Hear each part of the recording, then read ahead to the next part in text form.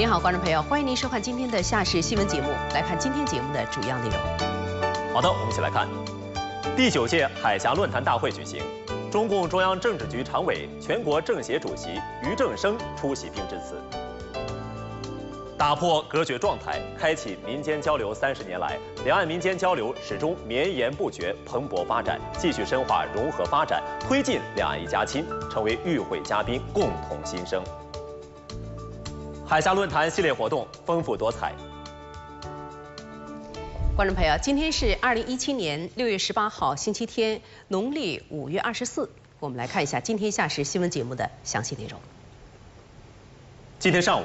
第九届海峡论坛大会在厦门人民会堂隆重举行，中共中央政治局常委、全国政协主席俞正声出席并致辞。俞正声在致辞中受习近平总书记委托，向第九届海峡论坛的举办表示热烈祝贺，向与会两岸同胞，特别是台湾乡亲表示诚挚问候。俞正声指出，去年以来，尽管两岸关系和平发展遭遇严重冲击，面临新的风险和挑战，但两岸交流已经站在新的历史起点上。我们推进两岸民间交流合作，深化两岸经济社会融合发展，造福两岸同胞的决心和态度没有改变。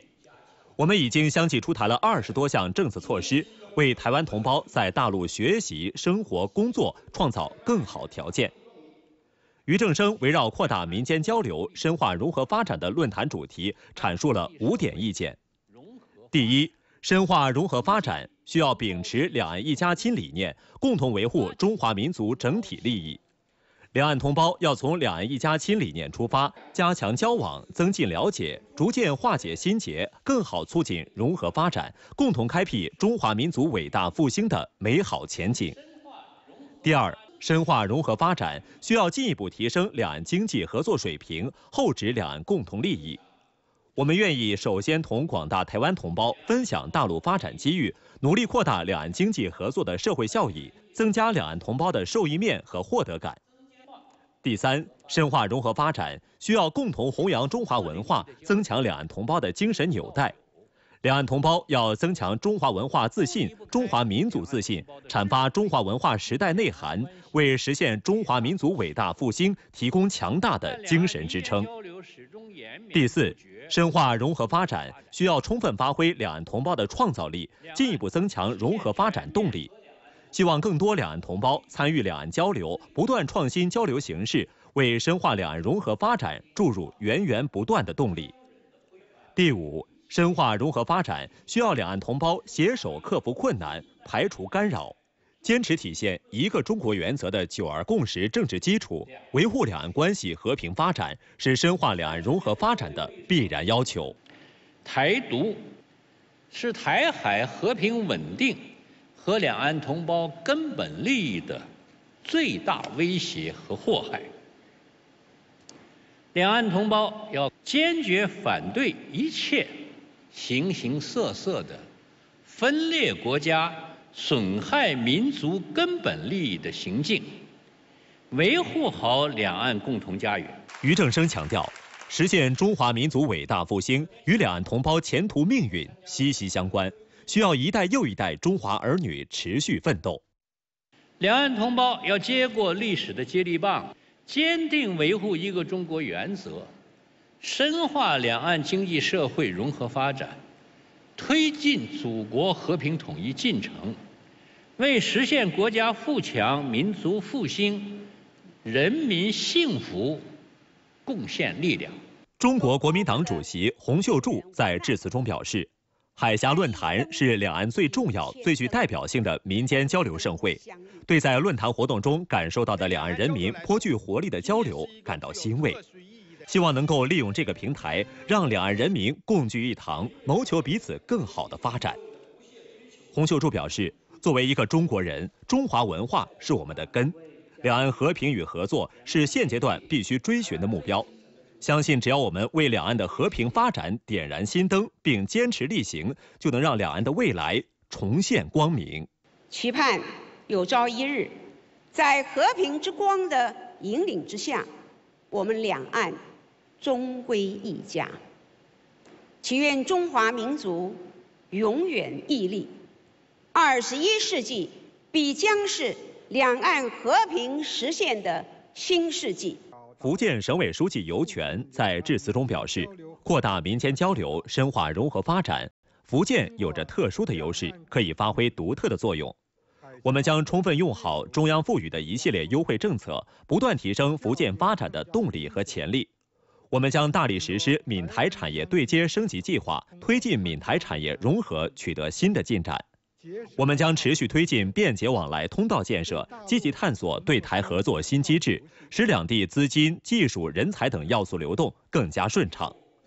我们将突出深化两岸特色文化和民间基层交流，出台进一步鼓励和支持台湾同胞，尤其是台湾青年来闽就业创业的政策措施，使两岸民间交往、经济社会融合发展展现出更加旺盛的活力。台湾村里长联合总会总会长陈建良等也在论坛大会上发言。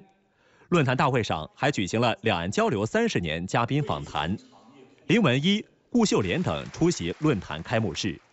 在厦门期间，于正声还考察了联鑫集成电路制造厦门有限公司、厦门银行、正航软件有限公司等企业，并召开了在闽台商座谈会。扩大民间交流，深化融合发展，这既是本届海峡论坛的主题，也是两岸与会嘉宾的共同期盼。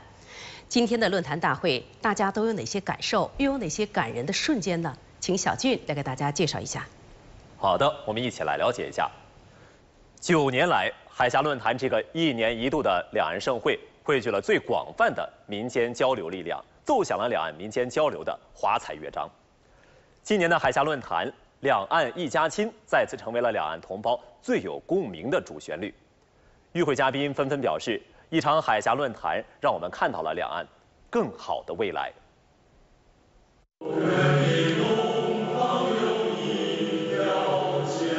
由海峡两岸企业家代表献上的一曲《龙的传人》，高亢激昂，唱出了两岸同胞一家亲的主旋律。今年这场精心策划的论坛大会文艺表演，还将厦门、泉州、台北三地的木偶戏表演艺术家齐聚一堂，共同完成木偶戏《偶艺新传》，展示了中华传统文化的薪火相传。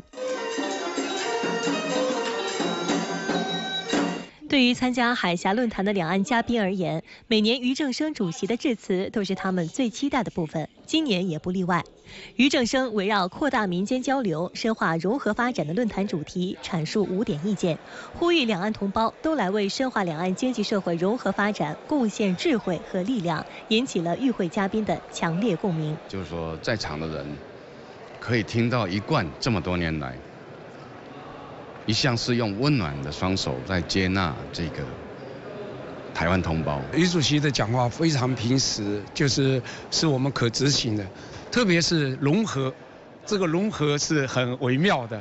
它不仅仅是说哦，你你做投资做那个，要融合在一起，一个家的一个感觉。我相信，只要。大家秉持着这个理念啊，呃，我我两岸的经济发展一定可以更更辉煌。那我觉得厚植文化融合发展，我觉得这就是我们的初衷，跟我们国家发展的一个根本。对，那文化才是我们的根。论坛大会上，台湾村里长联合总会总会长陈建良代表台湾基层的年轻人发言，他说。海峡两岸一脉相承，青年同胞血浓于水，欢迎大陆青年能多到台湾，协助台湾青年共同站上“一带一路”的宏观世界，共筑中华文明繁荣昌盛。这番讲话也得到了在场台湾同胞的热烈响应。因为我想，这个连线就是我们的希望嘛，哈。那当然，我想让他们更了解说整个大陆的发展，那整个大陆的商机，那他们在整个这个人生的里程里面还刚开始。那有这个机会来接触这么广大的市场，啊，能够更加进一步来做交流，然后大家发展，那这是非常好的好的这个方法。与会台湾嘉宾表示，两岸一家亲是大家的共同期盼和追求，希望两岸继续加强交流，越走越近，越走越亲。两岸关系，两岸一家亲，这是大家两岸同胞共同追求的目标。听了这个余正主席的讲话报告。感觉我们的两岸关系和平发展非常有希望，这是两岸人民的共同的心声，也期待早日能够达成和平统一的一个目标，让两岸人民啊的生活能更好。本台记者报道。今年的海峡论坛恰逢两岸打破隔绝状态，开启民间交流三十周年。三十年里，两岸民众从隔着浅浅的海峡无法相见，到跨海而来深化融合发展，彼此间的情感和渴望尤显珍贵。今年的海峡论坛还邀请了一批从未到过大陆的台湾手来族，他们作为新鲜的年轻面孔，为三十年来的破冰再次注入了新的活力和希望。台湾的两岸青年交流协会有十几位青年从未来过大陆。这几天，借着参加海峡论坛的契机，他们忙着到处走访参观，结交不少大陆朋友之余，很多新鲜的体验也让台湾青年们耳目一新。我觉得这里的发展速度就是已经超出想象的快速了，生活的便利性啊，然后建筑的速度及及建筑的外观、整体的道路建设等等这些，然后我觉得交通这些都。非常的便利便民。作为这些台湾手来族来说，对于大陆的印象彻底颠覆了教科书带给他们的认知。第一，我们第一次来大陆，感觉来到这边看到这些建设发展，真的是很惊很惊讶。大陆市场比较大，那相对那就有很多的工作机会跟就业机会。那当然经济，因为你这边经济发展很快速，那相对的所薪资所得也高，所以对于我们台湾的青年人来说，就会比较希望往一个。大的市场来发展。当然，这两年互联网一个蓬勃发展，我觉得大陆这边其实比台湾还要进步很多。我觉得应该就是不要局限在一个官方的形式，草根化、在地化，然后让我们年龄层下放。海峡两岸两边合作，其实我知道非常密切。然后我自己也想亲自来看一下这么大的一个论坛里面，呃，到底在谈论什么样的事情。而且我也很乐见，其实两岸的人民。一起共同努力合作。一九八七年，两岸同胞终于冲破隔绝状态，打开了交流大门。三十年来，海峡两岸发生了众多改变。上世纪八十年代就从台北首次来大陆的陈明阳清楚地记得，那一趟旅途他至少花了四天时间。我那时候很麻烦，要到香港绕一大圈，那现在是越来越方便了。飞机大概一个小时嘛，那船班大概三十分钟。从有限开放到小三通，再到大三通，这些改变让两岸的往来如今越走越近，越走越亲。早期我们都是在台湾自产，那等到通航以后哈，我们基基本马祖的民众大部分在大陆福州这个区块都有自产买房子，那也是预备将来，因为我们这么地缘那么近嘛，以后也许我们的生活会到这边了。不管是来投资啊、旅游啊，都有很好的照顾啊。各方面都对台湾同胞都有很多的礼遇啊，甚至于现在我们只要一个一个台胞证，一个卡式台胞证，就通行无阻了。这三十年的变化实在是太大了。你若觉得在台湾没有就业机会，在大陆有就业机会，只要你努力，只要你愿闯、愿努力、愿积极，你就可以在大陆找到你发展的空间。三十年来，两岸的交流越来越密切，两岸的交通越来越便捷。如今品尝台湾水果、跨越海峡、就业就学都越来越容易了。三十年来，虽然发生了很多改变，但始终不变的是两岸同胞的热切想念、深情呼唤和亘古不变的血脉亲情。正好我八七年开始进入报界，三十年一路走过来，就从一开始两岸的冰封哦，然后破冰交流到现在，整个的趋势它是绝对不可以挡的。两岸真的是应该是要融合在一起。今年交流三十年的意义特别大，又是一个新的里程，让我们往前走。哎，血浓于水，这是没办法改变的，而且会越来越好，越来越浓密。本台记者报道。在今天的海峡论坛上，有这样一位耄耋老人，他出生在大陆，成长于台湾，他的大半生都奔波于回家的路上。我们一起去听一听他的故事。我这一生有两段忘不了、充满心酸的回家之路。第一段就是。为亡故的老兵照亮回家的路。第二段是为我的儿孙指引他们回家的路。带着些许山东口音，今年已经八十三岁高龄的高秉涵向我们娓娓道来他的归乡路。从台湾当局开放居民到大陆探亲以来，他受一些老乡的临终嘱托，陆续将台湾老兵的骨灰带回家乡安葬。他说：“老兵的思乡情，他感同身受。”高秉涵出生在山东菏泽，十三岁的时候因战乱辗转来到台湾，五十六岁他才第一次踏上回乡的旅程。最思念的母亲早已过世。在他看来，他护送的不仅是老兵的遗骨，更是满满的乡愁。是贺着那些老哥、那些老兵，他们牵着我的手到了台湾，他们的理念是要活着不能回家，死了要魂归故里。我说老弟。负责把你们的骨灰抱回家，这一抱就是二十多年。他先后义务将一百多位台湾老兵的骨灰带回大陆老家安放，最远的曾经送到过新疆伊犁。他说他在有生之年还要继续坚持下去。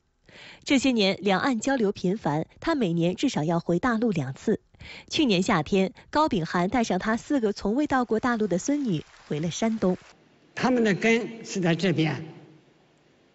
他们的生命源头是在这里，希望在这一点能够让他们把把这个家国这个观念呢，就不要偏差，不要错误。这么多年，高秉涵曾经在多个场合讲述这些故事。这次走上海峡论坛，他想让两岸更多的朋友了解，三十年来，尽管两岸关系跌宕起伏，但依旧无法改变他的归乡之路。个人生我，台湾养我，这这个是没办法分的，是不是？两岸永远一家亲。说这这就是一个血缘、人缘、地缘，我。八十三岁了，我相信我这一辈子看得到统一。我们继续来看今天在我市举办的海峡论坛的系列活动。今天下午以“面向未来”为主题的第六届海峡两岸婚姻家庭论坛开幕。来看记者报道。民政部部长黄树贤在致辞中说，自1987年两岸恢复民间交往以来，37.8万对两岸夫妻喜结连理。在两岸交流困难时期，两岸配偶用爱情、亲情的力量冲破重重藩篱，在收获美满婚姻的同时，也为推动两岸交流和平发展做出了贡献。他希望两岸婚姻家庭当事人携手推进两岸关系和平发展，维护好中华民族这个大家，同时珍惜来之不易的夫妻缘分，经营好自己的小家。开幕式由民政部副部长高晓兵主持，省市领导李德金、卢江出席开幕式。开幕式上还举行了台湾陆配服务团体微信公众号矩阵启动仪式，这些公众号将提供最及时的政策信息，为台湾陆配提供服务和帮助。这个对我们生活在台湾的两岸婚姻家庭协会的这些服务团体帮助是非常大的。那么可能我们可以直接接收到来自我们大陆的很多的讯息，那么让我们在台湾可以更好的服务我们在台湾的所有的陆配姐妹们。本台记者报道。今天下午，第九届海峡论坛、两岸侨联和平发展论坛及海峡两岸暨港澳侨界圆桌峰会在我市举行。中国侨联主席万立俊、副主席乔卫、省市领导雷春美、张灿民、陈子轩等出席论坛。万立俊说：“两岸侨界始终秉持‘两岸一家亲’的理念，引领着海峡两岸和港澳侨界交流朝着健康稳定的方向发展。下一步要继续筑牢两岸命运共同体的民意基础，让更多的两岸同胞共享和平发展的实惠与成果。”台湾侨界组织代表也从促进两岸关系和平发展大局、发挥侨界独特优势等方面建言。希望由于我们侨的推动，哈，塑造一个在海外一个和谐侨社的一个工作，找一条路，最终还是一种希望能够大家互动啊，产生一个正正确的方向。本台记者报道。今天下午，第九届海峡妇女论坛开幕。论坛以“女性社区治理她力量”为主题，围绕两岸社区治理展开交流与探讨。全国妇联党组书记、副主席、书记处第一书记宋秀妍在开幕式上致辞。她希望两岸姐妹要加强基层往来，共筑姐妹亲情，做两岸关系和平发展的坚定拥护者和积极推动者。同时，要促进社区对接，共建幸福家园，进一步加强人员互访、组织互联，组织开展形式多样的经验分享和家庭联谊活动。在交流中学习借鉴，取长补短。国台办副主任卢明彪希望，两岸姐妹借助海峡妇女论坛这一平台，发挥女性不可替代的独特作用，加强交流合作，让两岸同胞的心越走越近，情越来越浓。省市领导薛卫民、黄国斌参加开幕式。开幕式上，来自两岸的三十八个姐妹社区和市县、乡镇、社区的妇女组织签署了交流合作协议。搭建起工作协商、交流互访、经验分享以及项目合作机制。本次论坛历时五天，期间还将开展两岸姐妹续亲情、话发展和两岸女大学生交流等系列体验式、互动式交流和考察活动。本台记者报道。昨晚，省委常委、宣传部长高翔来到第九届海峡论坛新闻中心，看望参加论坛报道的中央和台港澳等新闻媒体记者代表。本届海峡论坛共吸引了中央、省市以及台港澳地区的一百零二家新闻单位、六百五十二名记者参与报道。高翔代表省委省政府对各新闻媒体记者积极参加海峡论坛报道表示欢迎和感谢。